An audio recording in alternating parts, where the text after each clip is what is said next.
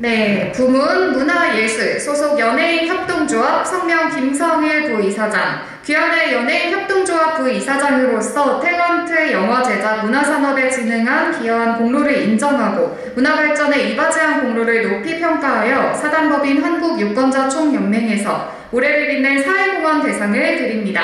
2021년 11월 24일 사단법인 한국유권자 총연맹 총재 서정태. 네, 진심으로 축하드립니다.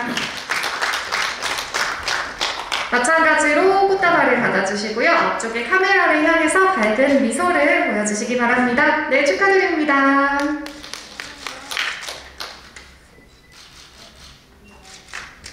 네, 축하드립니다. 다음 시상하실 분은 김정현 이사장님이십니다. 김정현